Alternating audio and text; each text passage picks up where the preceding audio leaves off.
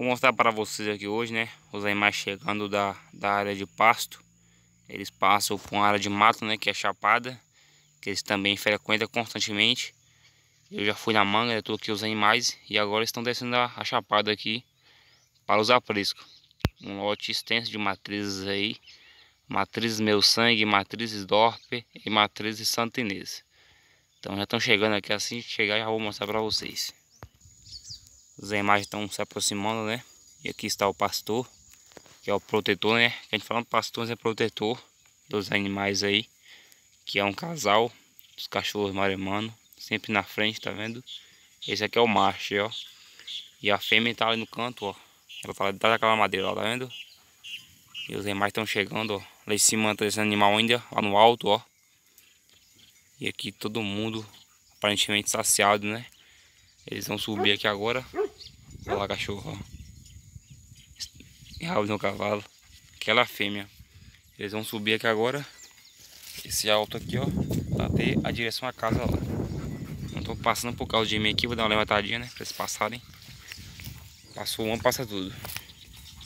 Aí os animais aí, ó. Tudo matrizes, né? Matriz aí, tudo matriz boa. Aí pra vocês verem como é que tem um lote extenso, né? Lote muito bonito, ó. Todo mundo saciado. De barriga cheia. Olha, ó. Agora vamos subir todo mundo. Bastante matriz mesmo. Né? Imagina aí quando começar a parir, né? Quando começar a parir, vai ser uma cordeirada só. Vai ser muito cordeiro, né? Praticamente aí quando eu começar a parir, eu parei 10, 15 no dia aí. E muita matriz meio sangue, né? Matrizes Dorp também. E aqui eles sobem. Estão meio que querendo encostar pra cá, tem umas mangas aqui, ó.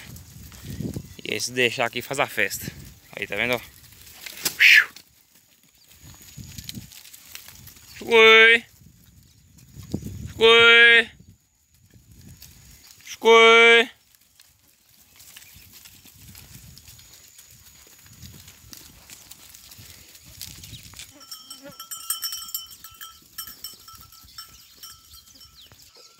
aqui agora só vamos atravessar o túnel, né? Colocar todo mundo para atravessar o túnel, chegar lá contar. Depois que eu fazer a contagem, conferir todo mundo certinho.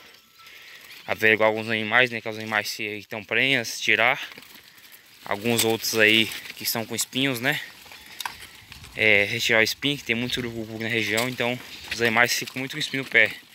Para não aflemar, né? Não atrapalhar o desenvolvimento do animal. Após isso eu começo a fazer a separação.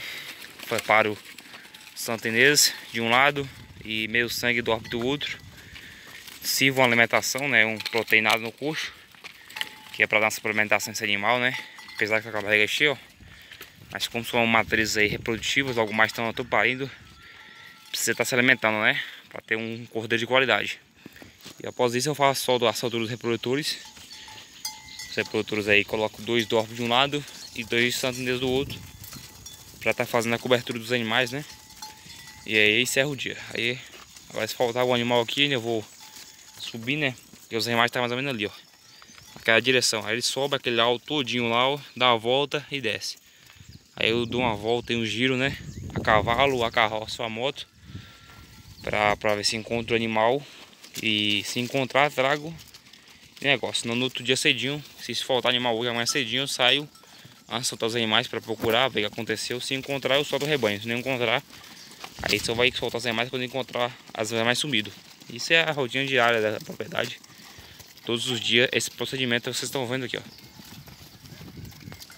É um trabalho que não é fácil, né? Mas a gente faz, a gente trabalha porque gosta, né?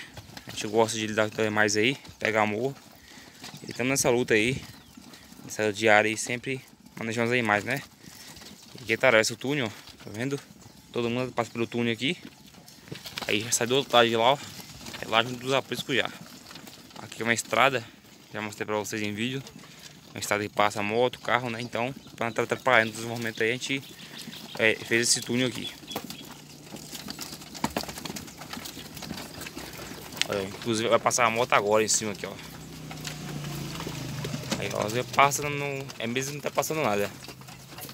E aqui eles atravessam, ó. Lá pro outro lado, tá vendo? São manilhas, né? Desce água também aqui. Olha lá, ó. E lá está do outro lado. E aqui tá feito. Então se você gostou do videozinho aí, deixa um like, né? Se inscreva no canal se você for novo por aqui. Deixe uma sugestão de vídeo também, um comentário se você gostou ou não gostou. E até o próximo vídeo.